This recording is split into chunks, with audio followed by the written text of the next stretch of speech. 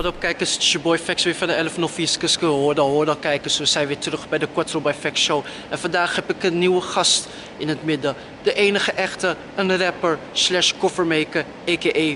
Cooks. Hij komt vandaag voor een interview om te vertellen over zijn ervaring over rap, uh, koffers, logo's en nog veel meer. Benieuwd wie Cooks precies is? Kom ze dan naar binnen. Yes! Welkom terug bij de Quattro by Fact Show. Vandaag hebben we een nieuwe gast in het midden en dat is rapper, a.k.a.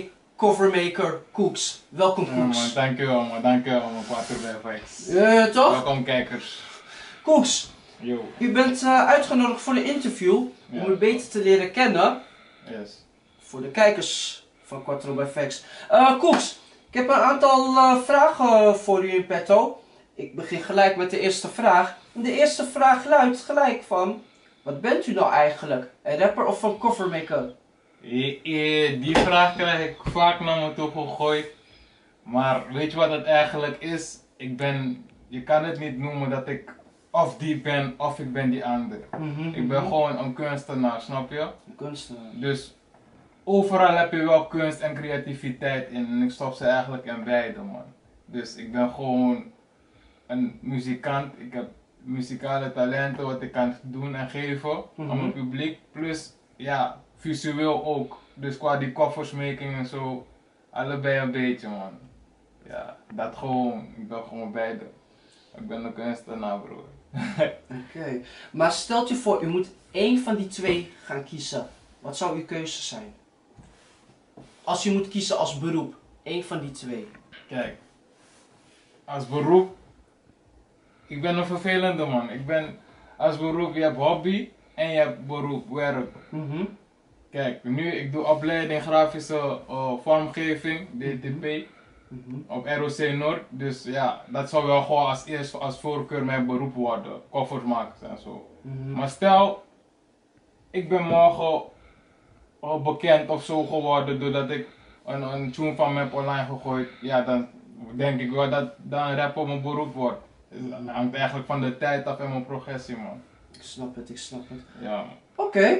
En wat voor soort rap schrijft u eigenlijk? Meer feestmuziek? En wat zit er inhoud in in de eh, raps die u maakt? Nou, het is eigenlijk. Ik luister meer naar de beat. De beat brengt jou in een stemming en een gevoel van, hé. Hey, stel voor het is een piano beat, een beetje sad, is het Mhm. emotioneel. Mhm. Maar als je met die babbeling kaliber dingen om opkomt, ja, sowieso een eh, tune, een club tune komt eruit. Dus het hangt van de beat af, man. En ik kan wel gewoon van alles doen. Ja, man. Oké, oké. Klinkt nice, klinkt nice. En eh Koeks, wanneer is dit allemaal begonnen, het rappen? En wat is de aanleiding dat u begon met rappen? Nou, het begon in 2013. Had ik een clip uh, zo Demai gewoon geschoten. Mhm. En ja, het, het begon in, een, in, in West. Mijn producer Leo D. Mhm. Trouwens, SO naar Leo D studio, sowieso. Ja, mijn producer Leo D had al een kleine bootje gefixt gewoon in zijn kamer en zo. En ja, vele mensen kwamen ook naar hem toe. Mhm. En hij had mij ook gevraagd omdat hij wist van, ik hou ook wel van muziek maken en zo. Dus hij dacht van, laten we wat proberen en doen. En zodoende, ja, 2013 ben ik begonnen eigenlijk met muziek maken, man. Oké, oké. Ja. Het klinkt een mooie geschiedenis. En met welke rapper onderscheidt u zichzelf? Daarmee bedoel je de verschillen, toch? Tussen mij en die rappers. Yes, dat jullie hetzelfde verschillen hebben. Nou, eigenlijk, ja. Ik luister wel naar veel rappers Mhm. en zo, maar het is niet van. Ik luister, luister ernaar om het zeg maar in mijn, in mijn dingen te hebben. Ik Kijk gewoon van wat doet die persoon op die beat. Mhm. En ja, tot nu toe probeer ik gewoon mezelf te zijn en ik kan eigenlijk geen onderscheid. Er is veel verschil tussen mij en rappers. Ik probeer uniek te zijn, snap je? Uniek. En met welke rappers in Amsterdam Zuidoost zou u een formatie kunnen vormen? Ja, formatie. In Amsterdam Zuidoost. Met rappers, voor mij, als het klikt met de band van de rapper Mhm. en qua, qua vibe, als er een vibe is, als die tune gewoon hard is, ja, waarom niet? Dus dat, iedereen krijgt bij mij gewoon, Iedereen krijgt de voorkeur. ja, iedereen krijgt gewoon een voorkeur. Ik heb wel gewoon al met MG Mhm. muziek gemaakt, Leo Saint heb ik ook muziek gemaakt. Mhm. Uh, wie nog meer? Ja, buiten, buiten Amsterdam ook andere, maar voor nu is het gewoon de voorkeur, iedereen is gewoon welkom. Iedereen is welkom, dus je zou niet echt zeg maar ehm, uitkiezen van ik wil echt met jou muziek maken. Echt een voorkeur zeg maar. Bijvoorbeeld eh, rappers die het heel goed doen bijvoorbeeld, dat u daarop inspeelt en dat u daar zeg maar een samenwerking of een formatie wil mee vormen om zelf succes te kunnen boeken. Ja en nee, ja en nee. Die vraag bij mij is een beetje moeilijk, omdat het is hetzelfde hoe ik het zeg. Stel voor, je bent hard, je kan hard zijn, Mhm, je wilt iets met me maken. Je, jij komt met een project naar mij toe mhm. en je gaat, je gaat dingen lopen, spitten die niet waar zijn. Dus het moet echt klikken qua de vibe en die muziek. Het is echt dus de vibe. Die, die thema moet gewoon compleet zijn man. Maar voor mij, iedereen krijgt gewoon een kans. Maar als ik ook iets vind van hé, ik like het niet of Mhm. dit en dit, ja, dan laat ik je gewoon weten. Ja, ik dacht meer voor het feature. promotie, dat dacht ik aan Ja. meer, het is reclame. Ja, nee man, maar het kan ook slecht in de smaak vallen bij mensen en dan heb je opeens een heel groot publiek voor het oog, daar ben je ook vast op. Dus ja, ik ben gewoon voorzichtig met die dingen die ik doe man. Gewoon, ja man. Oké. En eh, ik ga nu naar de persoonlijke vragen. Laat me even drinken, want die, die mond is woestijn toch? Ja man. Wat doet u graag eh, naast het leven als artiest? Als artiest, leven, ja, ik, eh, ik ben een man. Ik ben gewoon op de Xbox. Sorry voor de PlayStation fans, maar ik ben nog gewoon op de Xbox. En naast, naast muziek, ik hou van kunst, dus cover is eigenlijk ook gewoon eh, Een bijzaak. een bijzaak. Ik ben een designer, ik maak logo's, flyers, covers, artworks. Voor de rest, ik heb ook eh, schilder en zo, schilderspullen en zo gehad. Een mooie doek en zo. Mhm. Ik heb één keer iets erop geschilderd.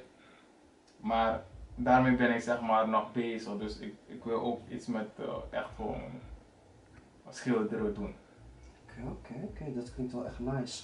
En eh, hoe bereidt u voor op een nieuwe single of een EP? Hoe bereidt u zich voor? Wat ik dan doe is, stel voor ik krijg een deuntje in mijn hoofd.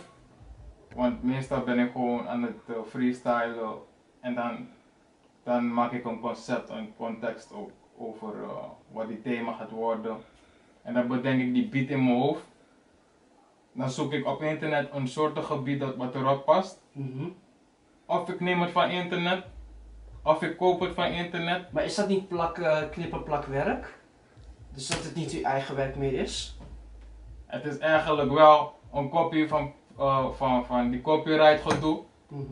Maar als je een producer hebt die het kan eh, remixen of namaken, wil je toch gewoon andere, andere deuntjes erin gooien, Mhm. dan ja, is het eigenlijk een eigen creatie. Want je, met, je, met jouw creatie en die persoonlijke creatie maak je een andere creatie. Dus je hebt wel gewoon een idee van hem gepakt, maar die zet je dan weer in een nieuwe jasje om.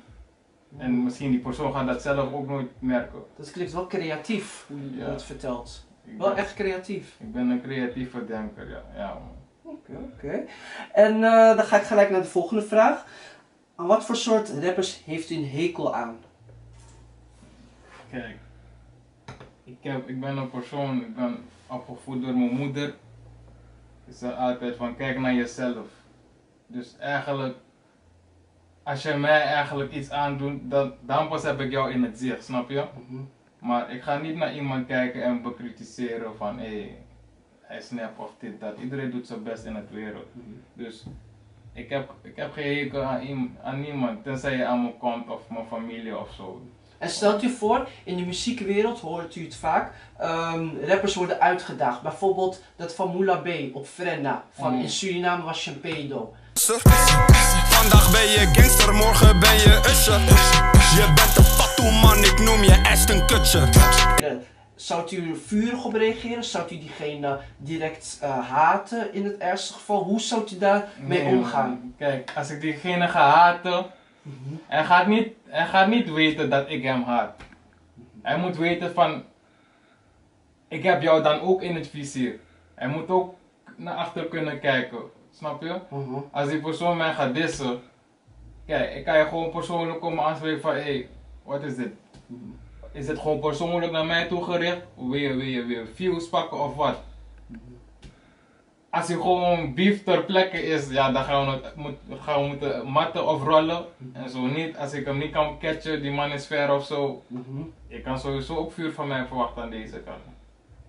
Want ik, kijk, ik ben gewoon een rustige, je kent me ook, ik ben een rustige jongen. Mhm. Maar er is ook een demon in elke persoon, dus Klopt, uiteraard. test die persoon niet. Maar ja, tot nu toe heb ik geen hekel aan niemand. Aan niemand. Nee man. Dat is wel nice dat u dat zegt.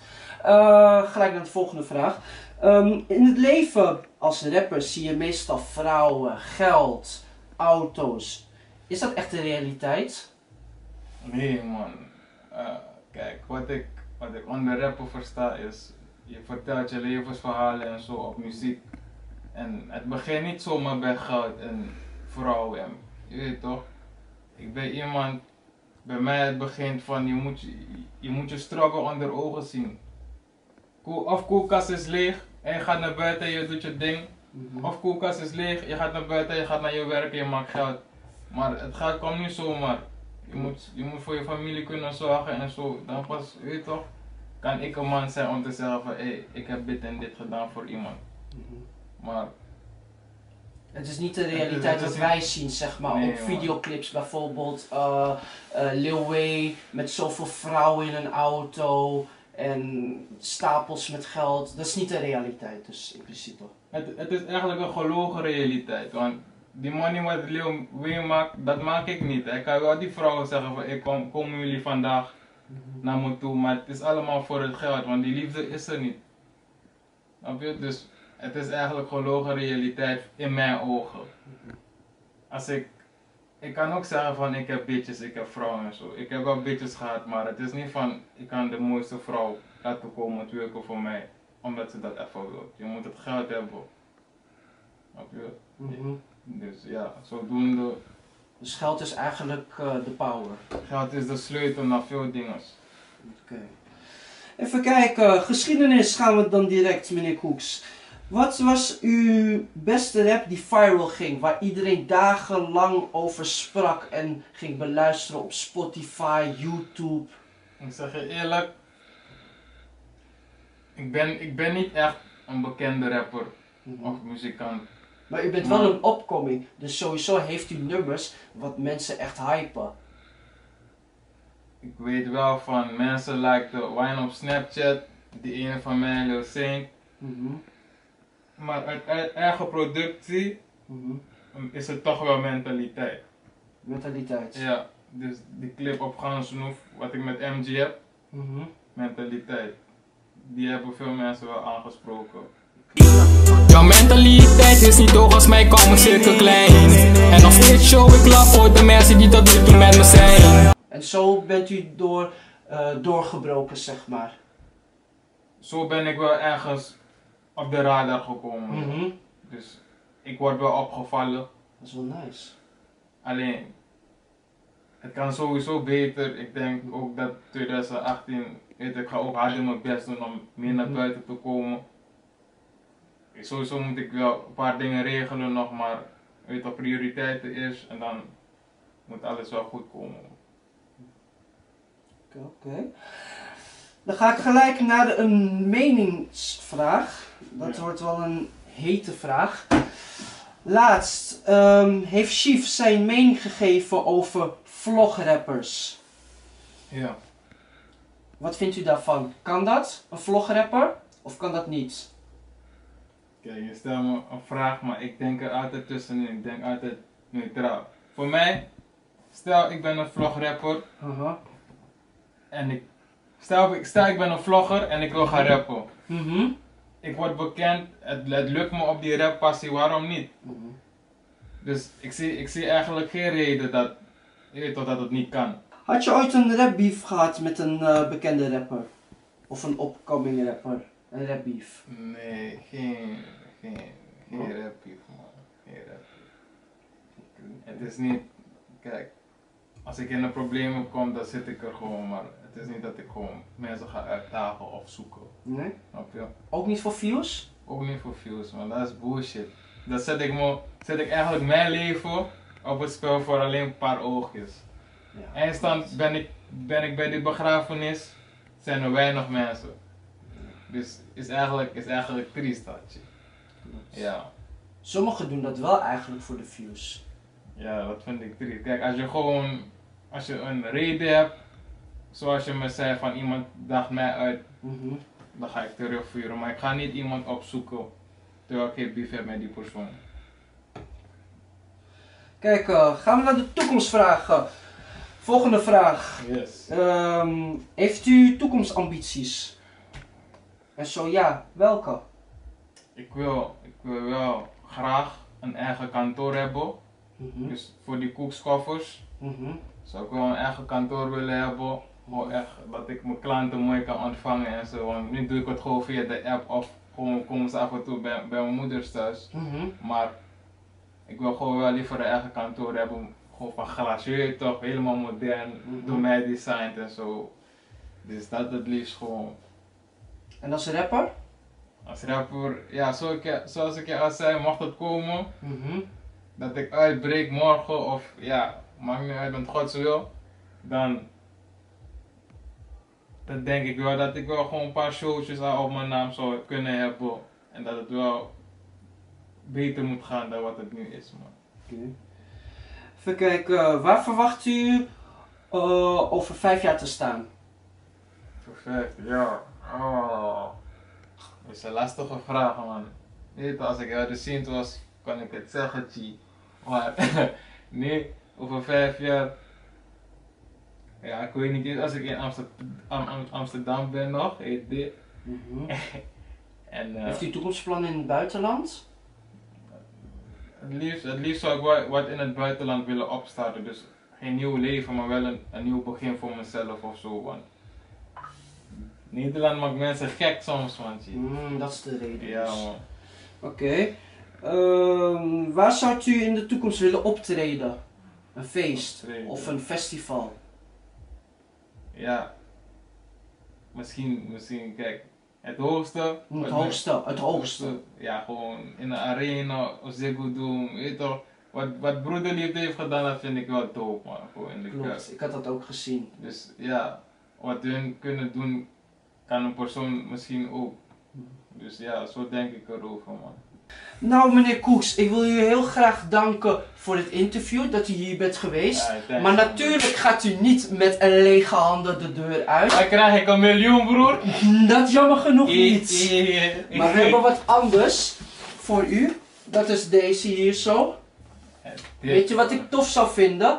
Als u dit ehm, eventjes aan gaat trekken. Ja. En dat u man. de show even gaat promoten.